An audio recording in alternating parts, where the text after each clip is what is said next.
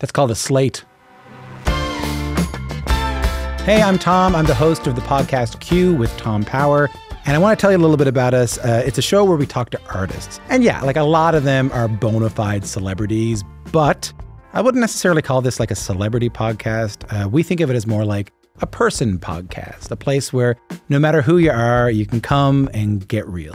What is the thing that you can do where you feel mo- most yourself? I can put my hand up and just go, yeah, it was mute music kind of saved my life. I was that desperate, yeah. And listen, when I say real, I don't mean like real as if everything's going to be heavy all the time. Like one time I was talking to Denzel Washington and I wanted to ask him about acting.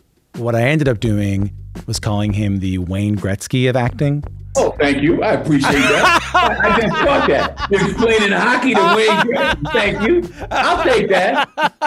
I like to think we go places with guests that you don't get anywhere else. My soul is the ghostwriter. It says, All right, I'm going to take over because obviously you can't function anymore. You're too depressed or you're too in your head or blah, blah, blah, blah. I'm going to try and re inspire you with a little nugget of hope through a, through a message, through a song. I don't want to brag here, but I also might be the first interviewer to get flipped off by Celine Dion. Every word you're going to say, I have a song. Devil. I'm just trying to think of words that you can sing. there was also one time I was talking to Tracee Ellis Ross, and she started serenading me. I live in your TV and I'm a TV girl.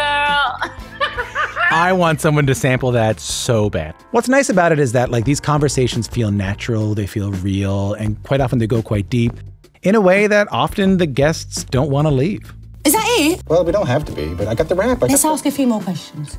Let's have a few- game just a for few God's sake. I'm having a great time. Can we bring in a bar cart? We're making this thing so you see all the big celebrities that we have. We also talk to a lot of emerging artists. We talk to authors and musicians and directors and filmmakers and actors. So if you want to hear your favorite artists talk like how they really are, check out our podcast, Q with Tom Power, available wherever you get your podcasts.